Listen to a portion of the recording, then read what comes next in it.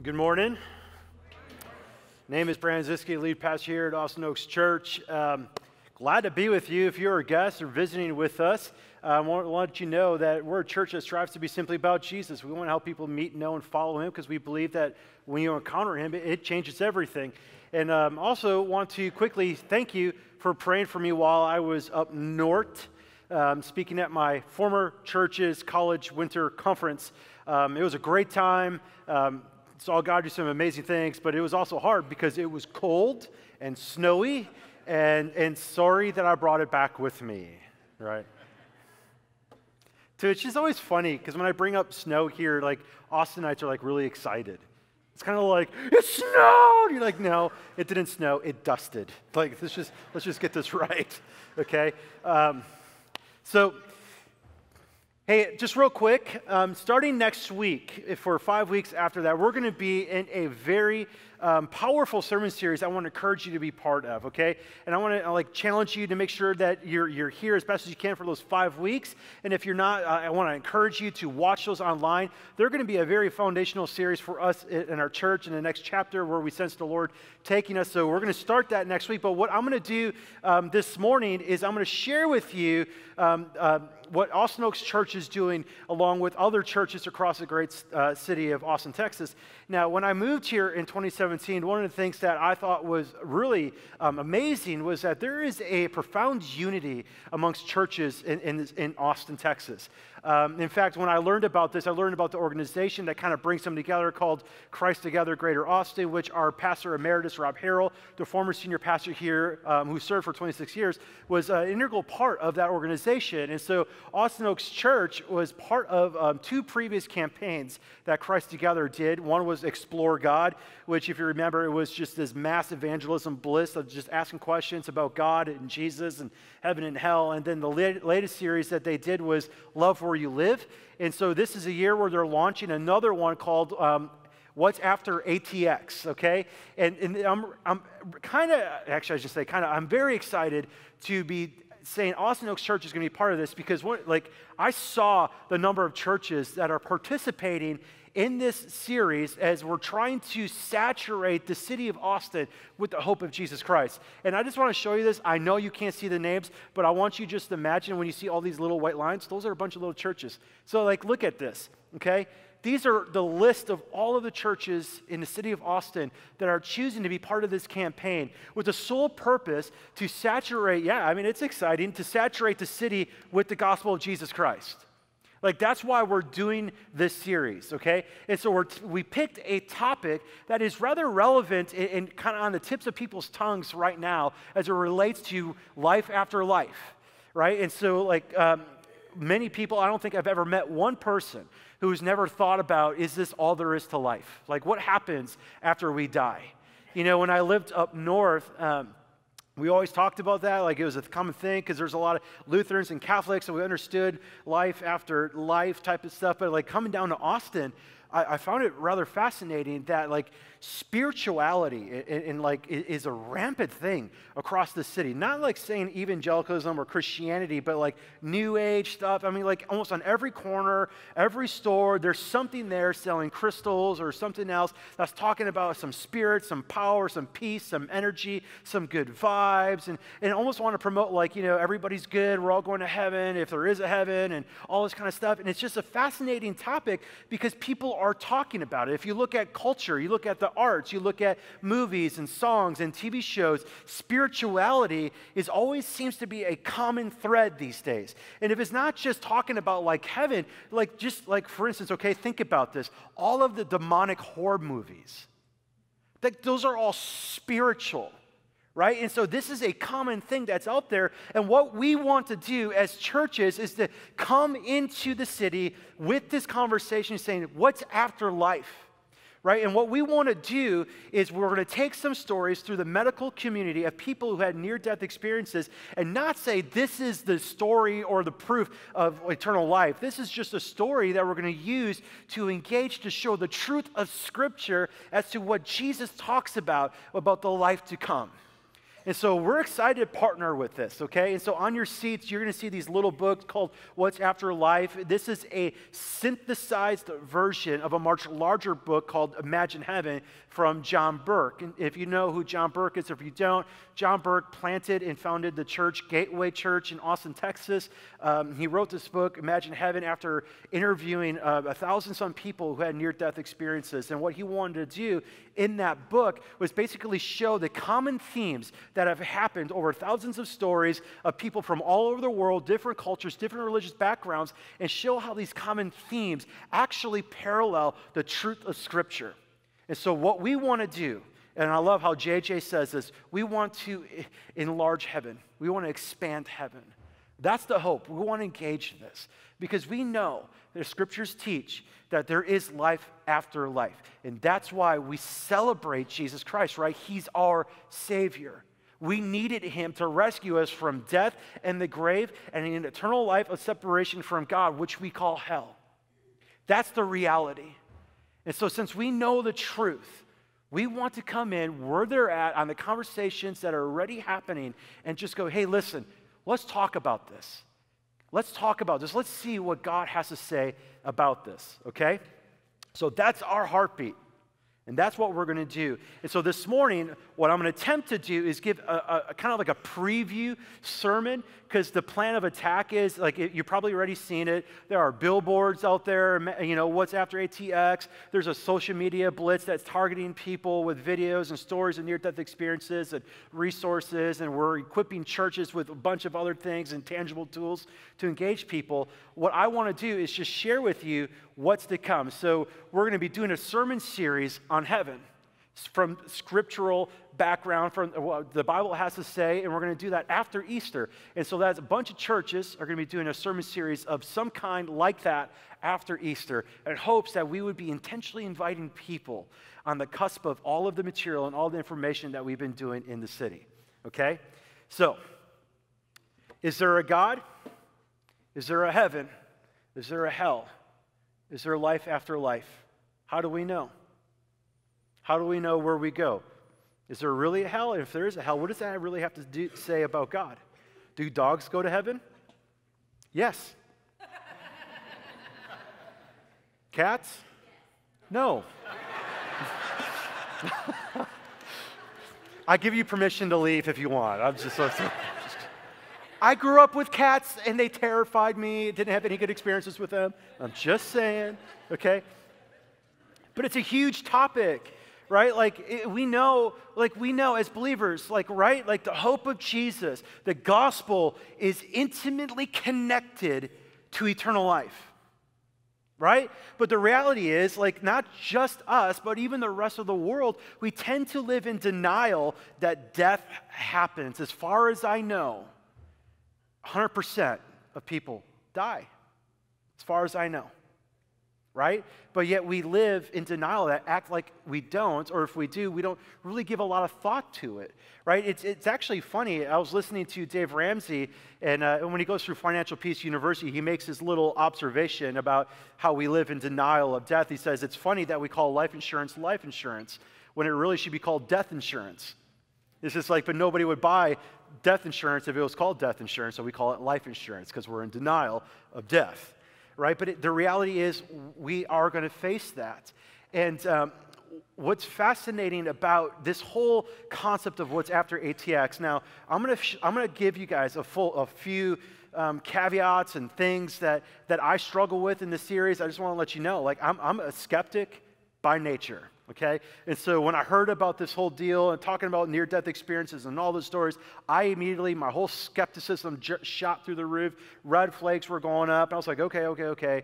But I wanted to know why they're doing this, why we're engaging this. And I listened to some of the things that a lot of these pastors were talking about. And um, just from their observation of what's happening in the medical community with near death experiences, they're going, let's leverage that to open up conversations not to say that these near death experiences are gospel.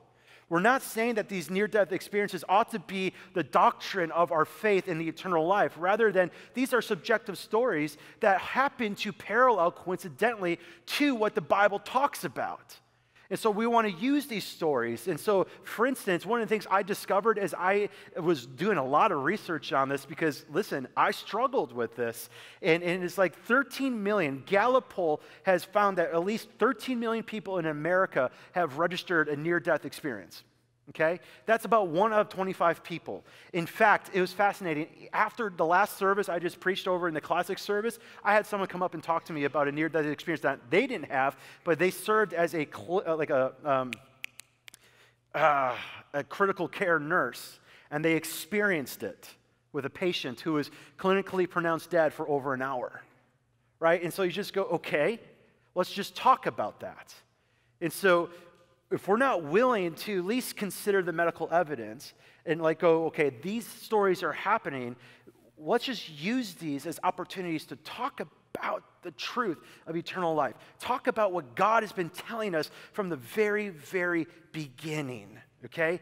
So, I want to make this crystal clear. We are not putting our faith in subjective stories okay? We're not forming our theology of eternal life based upon these stories of NDE people. We're, we're not going to do that. We're going to listen to them. We're going to like just go, wow, okay, we're going to come with a healthy dose of skepticism because we want to weigh it to what Scripture says. But listen, these are stories that our people are already talking about. They're reading. And not only that, the medical field is affirming that these stories are actually kind of pointing to the existence of an afterlife, to which we go as Christians, Yes. Absolutely yes. We're not saying these things didn't happen, okay? But we're not going to deny the facts that they do happen, but we're basing our theology and our doctrine off of what scriptures say. Now, regardless, if a near death experience has never happened, if there's no such thing as an NDE, Jesus is still the way, the truth, and the life.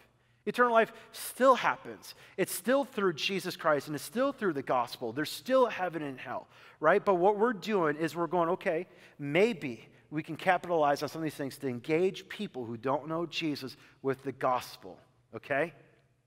So, some of these stories, they say some very bizarre things. I'm going to save you from those bizarre stories. And, and like, okay, full, full disclosure, one of the reasons why I'm a skeptic is because I know, and I've seen it, and we know this too, that some people have used their near death experience story to capitalize on making money, right? We know that. There's books and movies and things. And I'm not saying that they're all wrong, their motives, motives are all wrong, but we can't say that every single story has that as their motivation. In fact, there are thousands upon thousands upon thousands of these stories that come out, and, the, and it's this really, really slim margin of people who are trying to use it for fame and popularity and wealth. The vast majority of them have nothing to lose. In fact, it, they could even lose their credibility by talking about these experiences. And so we're trying to look at these themes and see what Scripture says about them. I believe that the Bible is 100% fully trustworthy, period. I believe that the God who lives in heaven, who created heaven, who sent his Son from heaven, um, who also described heaven for us through the lens of the kingdom of God, is infinitely more accurate than anybody else's experience. Okay? The Bible is true. Whatever the Bible says is true, and that's it. And the other part of the reason why we need to be slightly skeptical of these stories is because people are having an experience and they're trying to interpret it through their own lens. They're trying to use their own language. They're trying to understand how it all meant. And a lot of them have traumatic experiences and emotions after the count, right? And so we, we know how this works. Like, let's just say you and I, we witnessed the same car accident, but I was on this corner and you were on that corner. Like, the way we would describe it would be totally different just based upon our perspective. So we got to understand that, okay? The third part that I would say, a reason why we need to bring some skepticism is because they actually never really crossed the threshold. And what I mean by that is the majority of these folks who described their near death experience said there was some barrier, some threshold that they couldn't cross. They were not allowed to go over. So, like, like they weren't like really, really dead. Yes, they were clinically dead, but there was something that they weren't able to cross over into, their stories would say. It's almost as if they're looking through a window and they're trying to explain it. Okay? So, that's what we got to understand. Scripture is true. Everything's going to be weighed and measured off of Scripture.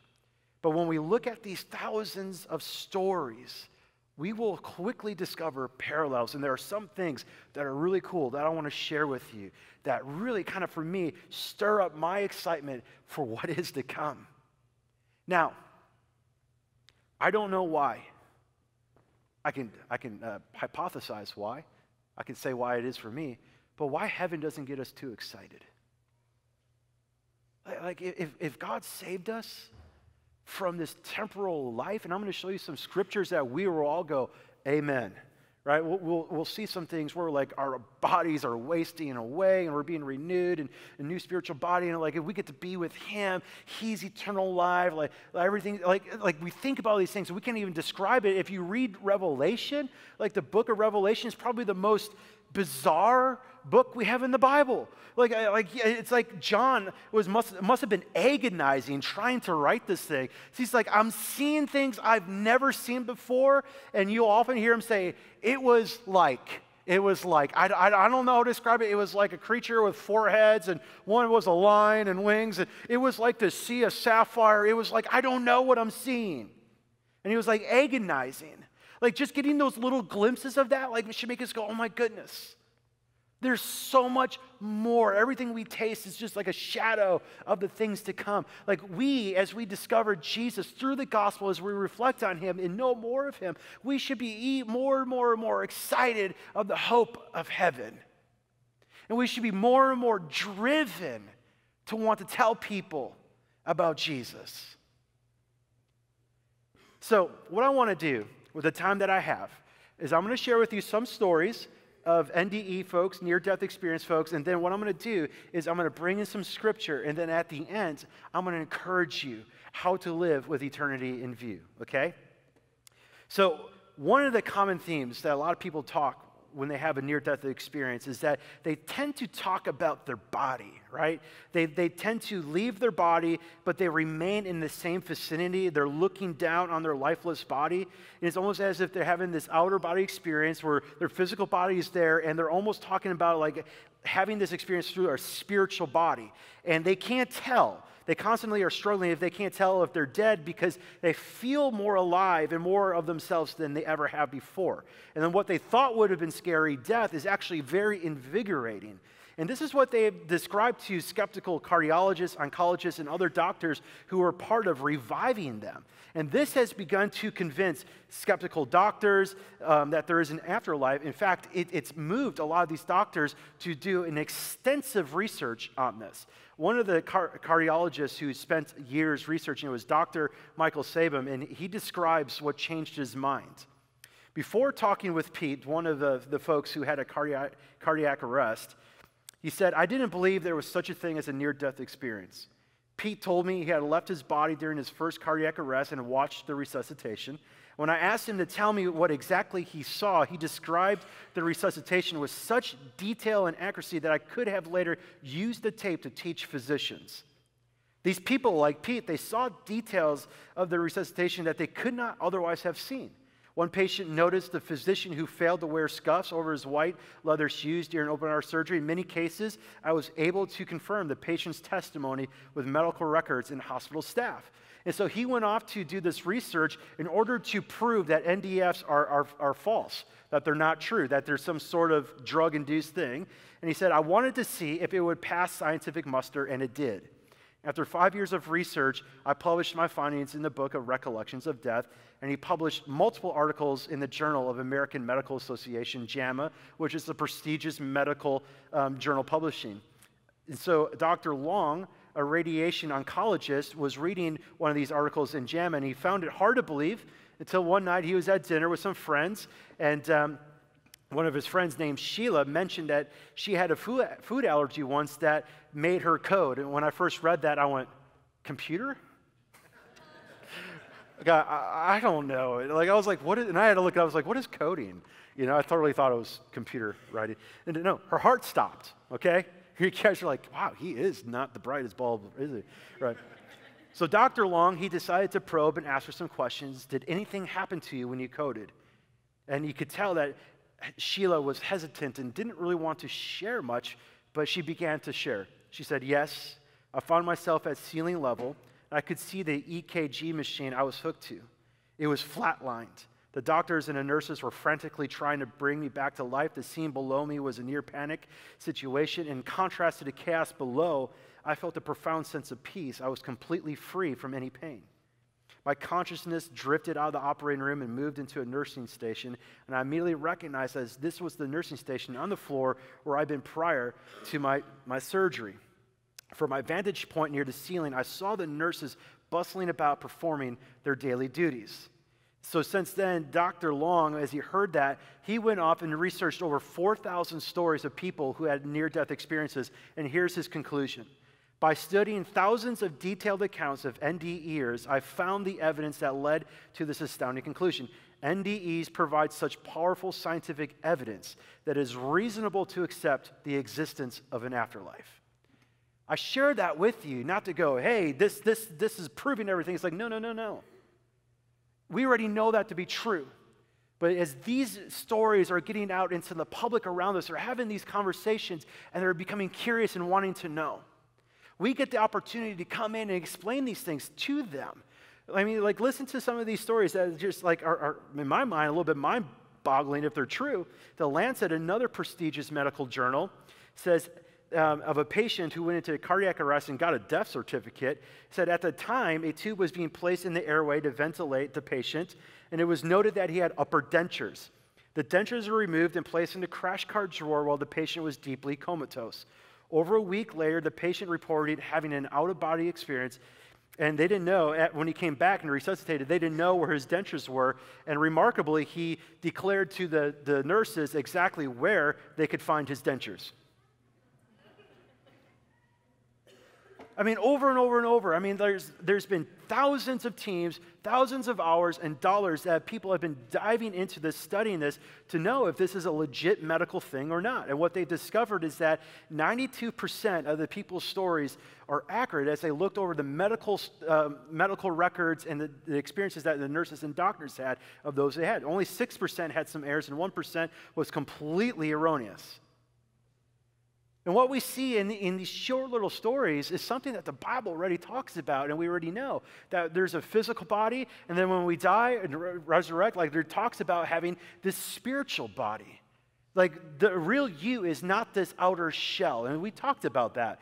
Like we know that like our skins, like our skin regenerates, the cells regenerate so rapidly that your body now is not the same body you had two months ago on the outside, right? So we know that this is not us, right? But scriptures talk about this. And so I want to show you some things here that I find fascinating, but I'm not going to make a statement saying this, this is what the, the final conclusion is, is this. So what I want to show you is a circumstance that happened to the Apostle Paul. In Acts chapter 14, verses 19 through 20. In this count, Paul, he's in Lystra he met a man of light and discovered it was Jesus, right? And he gave his life to Jesus, and then he became a church planter and a powerful missionary for Jesus Christ. And in Acts 14, verses 19 through 20, there's, there's a story here um, that the Jews came from Antioch and Iconium, and having persuaded the crowds, they stoned Paul and they dragged him out of the city, supposing that he was dead. Now, when people stoned people back then, the intention was to kill them, not hurt them. In fact, if you like would actually I don't know why you would ever do this. I wouldn't suggest you do this, but like stoning wasn't like throwing little pebbles. I mean, it was like boulders, like crushing their skull type of deal. In fact, um, last time we were in Israel, our tour guide was talking to us um, about another method they did to stone people is they would push people off of cliffs and then they would drop boulders from the cliffs on top of them, right? So in this case, like Paul, he, he was stoned, and obviously they assumed that he, he was dead. And, and so, like, even after that, it's like some people, like, they, they gathered about him, and then he just rose up, you, know, kind of like doing this miraculous type of thing.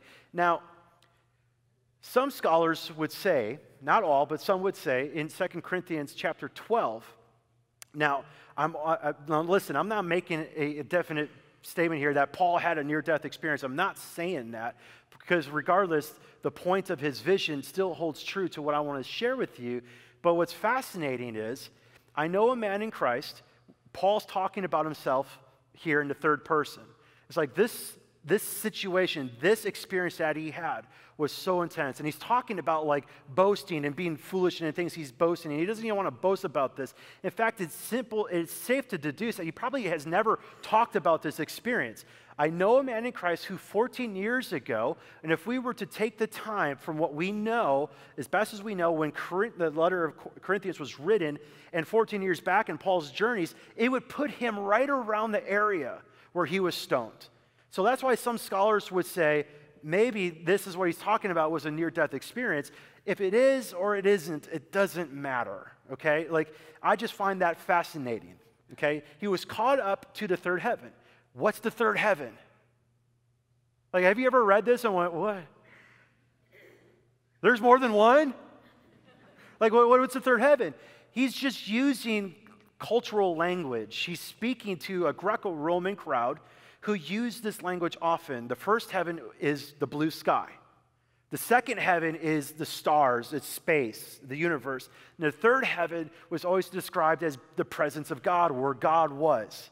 Okay? So Paul is saying 14 years ago, something happened where I was caught up to the third heaven. And just notice this. He, he doesn't even know how to explain what happened. Whether I was in the body or of the body, I don't know. But God knows. Something happened. I'm not sure what it was. Either if it was a near death experience or just a vision that he had. It was this almost like this outer body experience, but maybe it wasn't out of his body. He just didn't really know. And I know that this man was caught up into paradise. This is the same word that Jesus used to the thief on the cross. Today you'll be with me in paradise. So that's how we know the third heaven. We're talking about heaven. And again, he goes, whether in the body or out of the body, I do not know, but God knows. And, and he goes, I heard things that cannot be told, which man may not utter. It's almost as if like he heard from like God, maybe like, you can't share this. I mean, it was so intense and so overwhelming that something happened in this moment of like Paul trying to argue a case to the church of Corinth. He's like, I'm bringing it up. I mean, and, and, this is what fueled his missionary journeys was the revelations and experiences that he had with God. He had eternity in view. In fact, if you keep reading this, he talks about like God has given me a weakness so I don't become conceited in this, like understanding that all of his momentary troubles, he would consider them light in comparison to the things that are out there. But what I find fascinating is that almost 100% of near death experience stories talk about leaving a physical body and having what it seems to be a spiritual body, which is exactly what the scriptures teach. Paul talks about this in 1 Corinthians 15, talking about our physical bodies. It's sown in dishonor, but it's raised in glory. It is sown in weakness, and it's raised in power. It's like this body is not what it's meant to be. Sin has ravaged this body.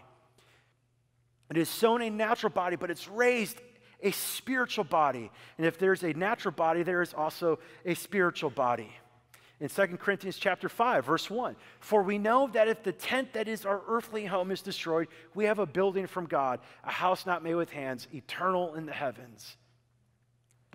For in this tent we groan longing to put on our heavenly dwelling talking about the physical to you know the, the physical body to the spiritual body. For indeed by putting it on we may not, we, we may not be found naked for while we are still in his tent, we groan, being burdened. Right? Amen? You, you, you feel that? Like, oh, right? Not that we would be unclothed, but that we would be further clothed, so that what is mortal may be swallowed up by life. Like, this, this is, I love this because this is something that we forget about. It's like, yes, this body is a temporal body. And when we die, we're going to put on a spiritual body.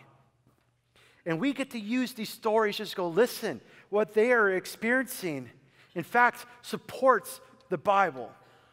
The Bible has been talking about this for thousands and thousands and thousands of years, since the beginning of time.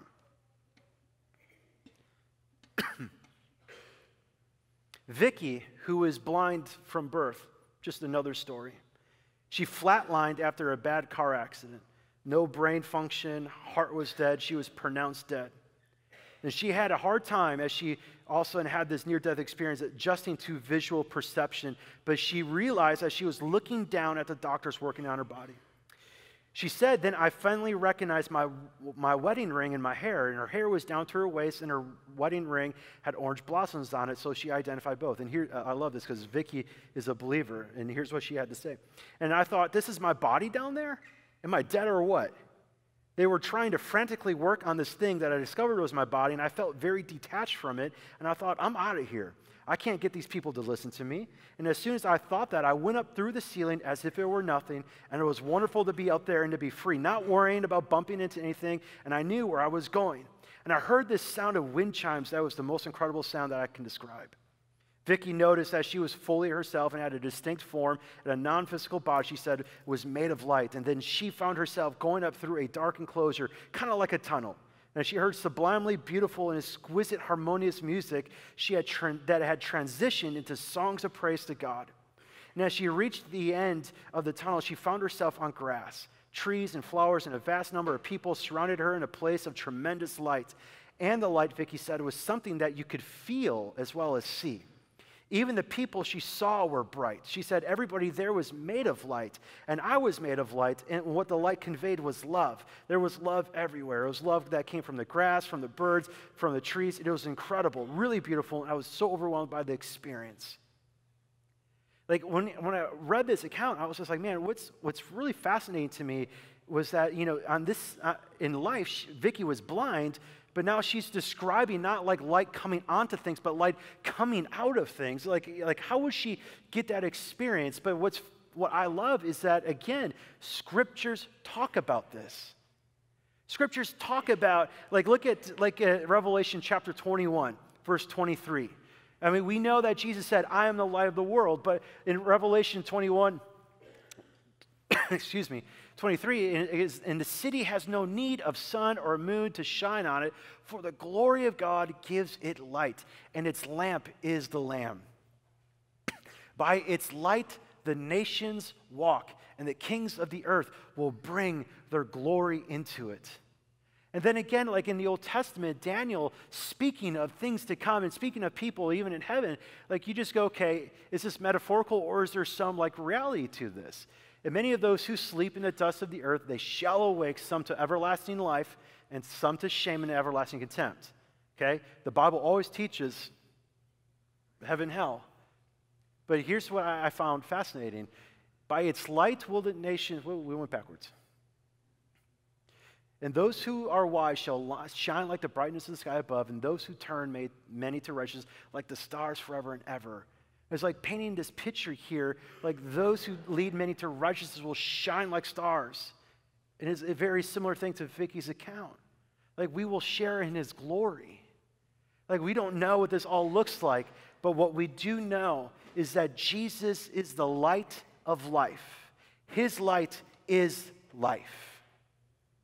Like I, I love how this speaks. And so here's the last little piece. And the reason why I said all that is because there was a researcher, a, a, a couple, who um, really struggled with this, and they wanted to know if culture, religion, and ethnicity influenced their near death experience reporting. And so, what they did is they, they interviewed 500 people in America who had a near death experience, who were also Protestant evangelicals, and then they interviewed 500 people in India um, who were practicing Hindus who had near death experiences. And what they discovered was absolutely astounding that religion had no influence at all on the themes that emerged out of their stories. In fact, out of the 500 Hindus who shared a near death experience, not one, not one reported anything that resembled any facet of the Hindu religion. Not one. There was no reincarnation, no disillusion into Brahma, there was no Shiva, no other gods, but over and over and over and over, there were accounts of them seeing or experiencing a man in white carrying a book of accounts. Where, do they, where, where does that happen? Like, uh, is it true? Is it not true? They're telling that story. That's not in any of their religion uh, tenets, but we know that's the the reality is that when we die, there's a, re- a life review of sorts. We have to give account for our life. There will be a judgment. Now, again, These stories don't shape how we see eternal life, they're subjective. And we're going to use them as opportunities to engage people with conversations about what the scriptures teach. Okay? We want people to see Jesus. Because the reality is, folks, heaven and life with Jesus forever is far greater than you could have ever imagined. It's far greater than I could have ever imagined. It's not boring. It can't be boring. For many, many years, I thought heaven was sitting on a cloud with a harp. Ring, ring, ding, ding, ding, ding, ding, ding, ding. They're finally going, is it just really one long church service? Like, all we're going to do is sing? Come on, like, right? Have you ever thought that? Like, we're just going to sing the whole time? no. Time does, time's not even a word in heaven. Think about that for a bit.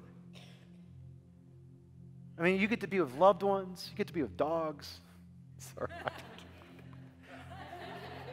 I mean, there's so many things in Revelation. Like, if you just look at Revelation and just get caught up in the wonder of what John is trying to describe.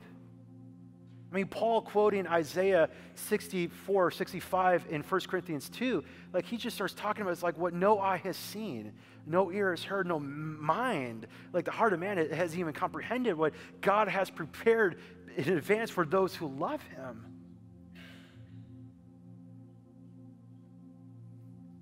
Folks, like we we got to understand that when we talk about Jesus, like now I'm talking about for those of us who believe in Jesus, like our joy is connected to eternal life. And this is eternal life that we would know him.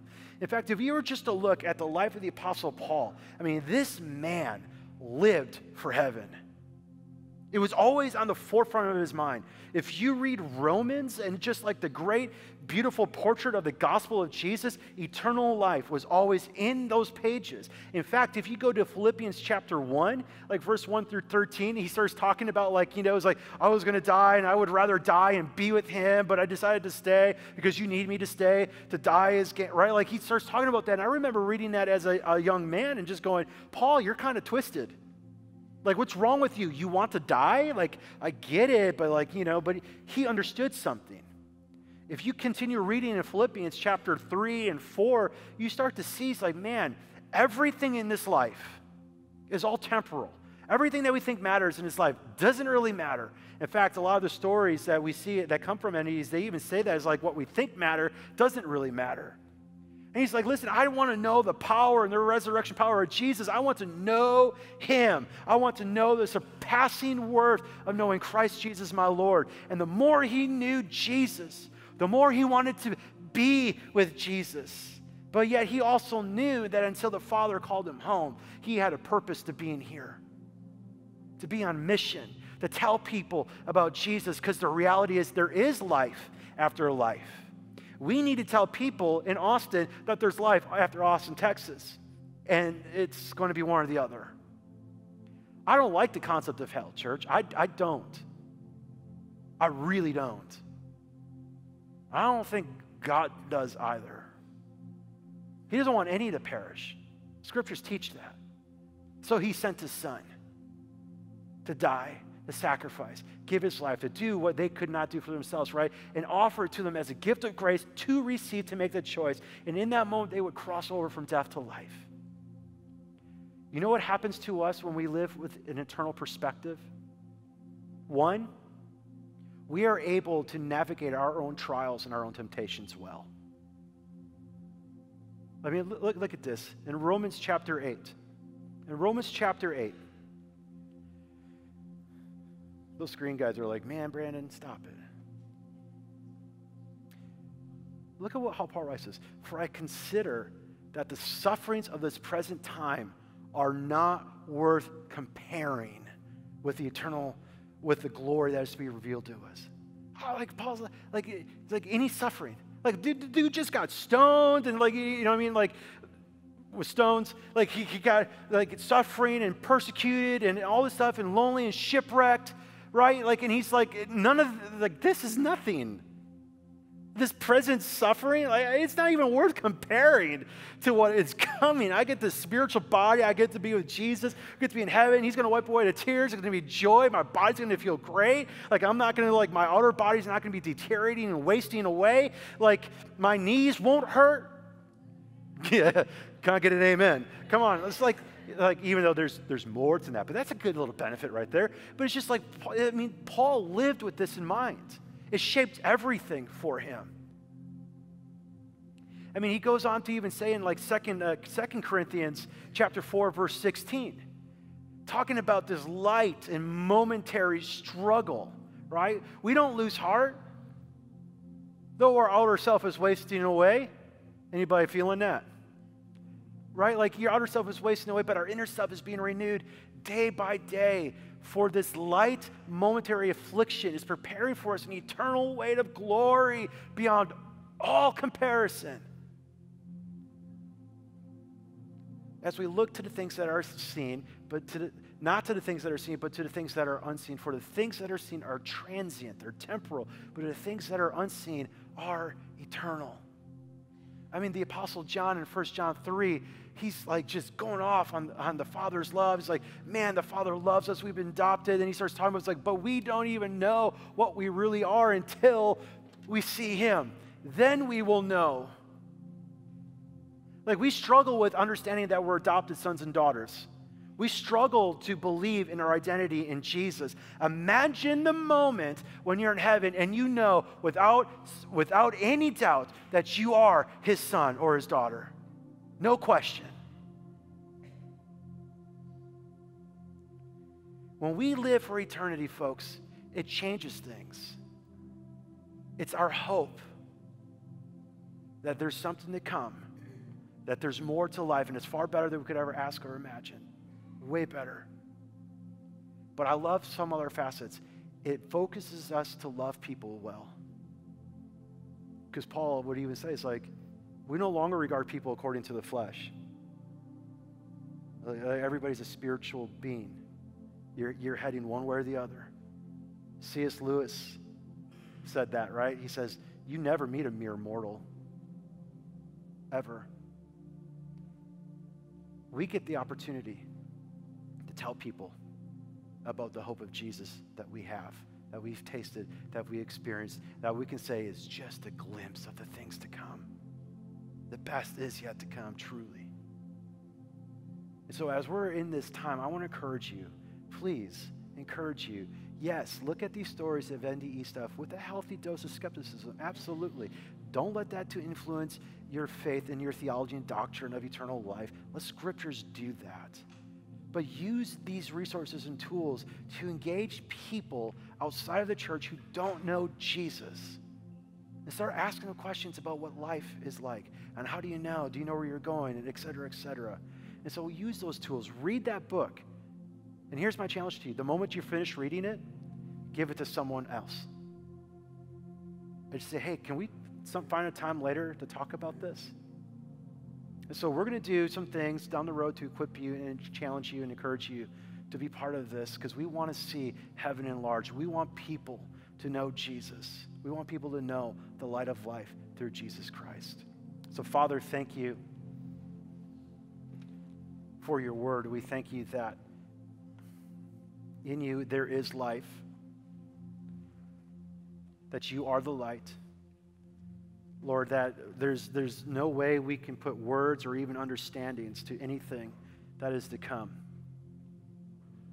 And Lord, it, it and I got to admit, it is a little fun to be curious about these near death experience stories and imagine what heaven could be like. But Lord, I pray that you protect our hearts, keep us close to you and your word and your spirit. Lord, I pray for people in our lives who don't know you. Lord, that you, you would um, intervene and that they would encounter some of this material, and Lord, and that you would begin to prime and ready a conversation. So, Lord, we pray that you would give us eyes to see Lord, give us eyes to see people the way you see people. Lord, give us eyes to see the hope of heaven. Lord, give us the ability to live with eternal life in view. So, Lord, we ask that you would speak and do your work in our hearts as we respond in worship. Lord, would you navigate our hearts, pastor us, convict us of sin, encourage us where we need to be encouraged. We pray this in Jesus' name.